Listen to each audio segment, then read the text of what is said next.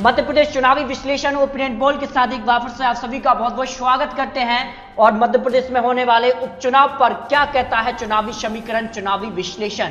आपको सभी 24 सीटों का यहाँ पर गणित दिखाएँगे। किस तरफ़ झुक सकता है? इसी बीच मध्य प्रदेश कैबिनेट यहाँ पर मंत्रिमंडल का विस्तार हो चुका है। और इस विस्तार के बाद कई विधायक बीजेपी के, कांग्रेस के पाले में जाने की खबरें हैं। इसके ऊपर क्या यहाँ पर खबर है, उस पर क्या, जो गणित कहता है, क्या आंकड़े बनते हैं, उसकी जानकारी आपको इस वीडियो में दिखाएँगे। बता दें, मध्य प्रदेश में अब चार बड़े नेता हैं, जिनमें ज्योतिरादित्य सिंधिया अब बीजेपी खेमे में आ चुके हैं और जिसके बाद बीजेपी खेमा काफ़ी मज़बूत हो चुका है और इन 24 सीटों का जो गणित है, वो कहीं ना कहीं ज्योतिरादित्य सिंधिया के आसपास ही यहाँ पर मंडारता नज़र आ रहा है। क्योंकि चंबल संभाग में 24 सीटों में से 16 सीटें आती हैं और इन सीटों पर ही जो है उपचुनाव होने वाले हैं। क्या बनेगा गणित आपको दिखाएँगे। इसके अलावा कमलनाथ और दिग्विजय सिंह, दो पुराने नेता यहाँ पर मध्य प्रदेश में वापसी करा सकते हैं। कांग्रेस के लिए इस पर क्या कहता है कांग्रेस और बीजेपी का चुनावी गणित जिस प्रकार से मध्य प्रदेश के लिए यहाँ पर अगर बात करें तो 22 विधायक कांग्रेस के निकल कर सीधी तरह से बीजेपी में आए और इस्तीफा मंजूर होते कांग्रेस सरकार गिरी। उसके बाद बीजेपी ने अपनी सरकार तो बना ली। लेकिन अब उपचुनाव में बीजेपी के सामने भी चुनौती होगी। अगर कांग्रेस यहाँ पर इन 22 विधायकों पर चुनावी मैदान में बीजेपी की तरफ़ से उतरते हैं तो फिर क्या गणित बनेगा? इसी कांग्रेस की तरफ़ से दावा कि वो 15 अगस्त को यहाँ पर कमलनाथ सरकार वापसी करा लेंगे तो क्या विकल्प यहाँ पर मौजूद है? वो भी आपको दिखाएँगे किस प्रकार से कांग्रेस यहाँ पर वापसी कर सकती है। पूरे आंकड़े यहाँ पर निकल कर सामने आ चुके हैं। मध्य प्रदेश के लिए अभी से ही चुनावी रणनीति, चुनावी विश्लेषण और चुनावी जो समीकरण है, वो सारे के सारे तैयार हैं और सभी बड़े जो नेता हैं, वो फ़िलहाल यहाँ पर बात करें तो उपचुनाव की तैयारी में जुट चुके हैं। वही मध्य प्रदेश सरकार यहाँ पर अगर बात करें तो अपनों को मनाने और साथ ही कांग्रेस से 22 विधायकों को अपनी तरफ़ जो आए हैं, उनको सामंजस्य बनाने में लगी हुई है। इसके बाद क्या उपचुनाव में बनेंगे आंकड़े? वही मध्य प्रदेश के लिए जो है लगातार ज्योतिरादित्य सिंधिया एक साल के अंदर जो है कई बार ऐसी घोषणाएँ कर चुके थे, जिस पर जो है सिंधिया पर सवाल उठ रहे थे कि वो यहाँ पर कमलनाथ सरकार से इस्तीफा दे सकते हैं और ऐसा ही हुआ जिसके दम पर बीजेपी ने सरकार तो बना ली। लेकिन 22 विधायकों के लिए क्या बीजेपी यहाँ पर करेगी? और ये बहुत बड़ा सवाल अब बीजेपी और अन्य नेताओं के सामने है।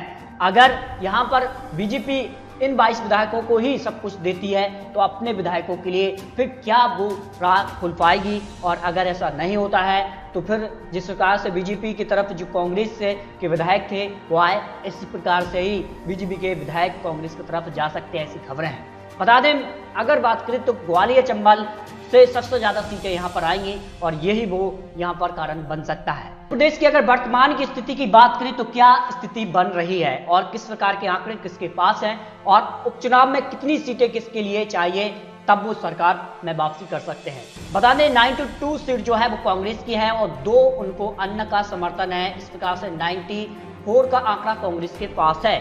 और यहाँ पर अगर बात करें तो बीजेपी के पास अपने 107 प्लस यहाँ पर पाँच अन्य के यहाँ पर समर्थन मिला है, जो यहाँ पर फ्लोर टेस्टिंग हुआ था उसमें। तो बीजेपी जो है 112 सीट यहाँ पर हासिल है। बता दें, मध्य प्रदेश के लिए 230 विधानसभा सीटें यहाँ से आती हैं और 116 सीटों पर पूर्ण बहुमत के साथ सरकार बन जाती है। और यह आंकड़ा उपचुनाव में बीजेपी के लिए केवल चार सीट यहाँ पर चाहिए।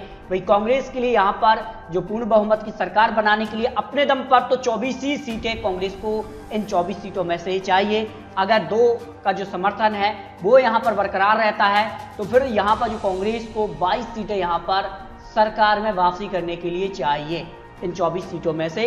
अब कितनी सीटें आ सकती हैं, इसके आंकड़े भी आपको यहाँ पर दिखाएँगे किस प्रकार से आंकड़े बन सकते हैं। 24 सीटों में से ये चार बड़े नेता इन 24 सीटों के जो क्षेत्र हैं, उनमें आते हैं। जिनमें सबसे बड़ा नाम ज्योतिरादित्य सिंधिया, यहाँ पर अगर बात करें तो नरोत्तम मिश्रा, और यहाँ पर नरेश सिंह तोमर। इसके अलावा यहाँ पर बात करें तो मध्य प्रदेश के प्रदेश अध्यक्ष, यहाँ पर वी शर्मा भी आते हैं। अगर बात करें तो मध्य प्रदेश के लिए बीजेपी की तरफ़ से ये बड़े चेहरे यहाँ पर जो है चुनाव में काफ़ी महत्वपूर्ण भूमिका में आ सकते हैं। भाई कमलनाथ सरकार की बात करें तो मध्य प्रदेश के लिए अभी से ही कांग्रेस ने नेताओं की यहाँ पर कमर कसली है और चुनाव के लिए और प्रत्याशी की अभी से ही होल लग चुकी है क्योंकि सारे जो बड़े दिग्गज थे वो बीजेपी में जा चुके हैं इन 22 सीटों के लिए। इसलिए कांग्रेस यहाँ पर इन 22 सीटों के लिए यहाँ पर काफ़ी बड़े चेहरों की तलाश करने लगी है। इसके अलावा तुलसी सिलावट को भी टिकट मिलना तय है और उसके बाद उनके करीबी जो माने जाते हैं बीजेपी के लिए तो ऐसे में बीजेपी जो है अपने करीबी जो उनके बड़े नेता हैं, उनको कैसे टिकट के लिए यहाँ पर मना पाएगी, ये भी बड़ा सवाल बना हुआ है। लेकिन कांग्रेस यहाँ पर लगातार प्रयास कर रही है कि जल्द से जल्द यहाँ पर जो है नए चेहरों की तलाश की जाए और इसके लिए अभी से प्रयास किए जाए कि किस क्षेत्र में किस प्रकार का माहौल बन रहा है, उसको लेकर अभी से तैयारियाँ कमलनाथ सरकार शुरू भी कर चुकी है। बता दें कि कमलनाथ सरकार ने एक विधानसभा सीट के लिए चार विधायक और दो पूर्व मंत्रियों को यहाँ पर ज़िम्मेदारी दी है कि वो अपने क्षेत्र के लिए और यहाँ पर जो सीट है उस पर अपनी पैनी नज़र रखें और कहीं ना कहीं प्रत्याशियों के लिए अपनी तरफ़ आकर्षित करने का प्रयास करें। अब आंकड़ा क्या बनता है वो भी आपको दिखाते थे। अगर बात करें तो 116 के आंकड़े तक पहुँचने के लिए कांग्रेस को 22 सीटों की ज़रूरत है। अगर इनमें से कांग्रेस जो है 10 से 12 सीटें हासिल कर लेती है, तब भी कांग्रेस कहीं ना कहीं बीजेपी पर दबाव डाल सकती है। जिस प्रकार से बीजेपी ने कांग्रेस के लिए दबाव डाला और सरकार गिरी क्योंकि कई ऐसे विधायक थे जो कि कांग्रेस से नाराज़ चल रहे थे। अब ऐसा तो है नहीं कि एक ही दल में यहाँ पर ऐसे नेता होते हैं जो कि नाराज़ होते हैं। बीजेपी में कई ऐसे नेता रहे हैं जो कमलनाथ सरकार फ्लोर टेस्ट के दौरान जो है कमलनाथ से मुलाकात भी करते रहे और अगर ऐसा कुछ रहा तो फिर बीजेपी को भी मुश्किलों का सामना करना पड़ सकता है। आया था, मंत्रिमंडल परिषद को लेकर भी बड़ी खबर थी। अब मध्य प्रदेश के लिए क्या कुछ गणित बन सकता है? अब मध्य प्रदेश की 24 सीटों पर क्या कहता है चुनावी विश्लेषण? आंकड़े बीजेपी के पक्ष में जा सकते हैं, क्योंकि कर्नाटक की तर्ज पर अगर ये उपचुनाव हो जाता है तो फिर बीजेपी यहाँ पर जीत दर्ज कर सकती है। अगर यहाँ पर 22 जो कांग्रेस विधायक थे, क्योंकि कांग्रेस के जो 22 विधायक थे कांग्रेस के लिए यहाँ पर ऑप्शन ये है कि जनता ने 22 विधायकों को यहाँ पर जिताया था। और अगर कांग्रेस के लिए यहाँ पर जनता फिर से जिताती है तो फिर दरवाज़ा कांग्रेस के लिए खुल सकता है। बता दें, अगर कर्नाटक के हिसाब से अगर चुनाव होता है, क्योंकि कर्नाटक में जिस प्रकार से चुनाव हुआ और पंद्रह बागी विधायकों ने इस्तीफा दिया, उसके बाद यहाँ पर बीजेपी ने उन्हीं को टिकट फिर से दिया उपचुनाव के लिए, उन्हें यहाँ पर जीत दर्ज मिली। और अगर मध्य प्रदेश के लिए भी यही हालात बनते हैं तो फिर बीजेपी यहाँ पर उपचुनाव में भी जीत दर्ज कर सकती है। और यहाँ पर बात करें तो बीजेपी के लिए सिर्फ़ चार सीट ही इस उपचुनाव में चाहिए, क्योंकि 112 का आंकड़ा उनके पास है, और अगर यहाँ पर कांग्रेस को जीत दर्ज करनी है तो कम से कम यहाँ पर 22 से 24 सीटें यहाँ पर हासिल करनी होगी, तभी जो है कांग्रेस यहाँ पर सत्ता में वापसी कर सकती है।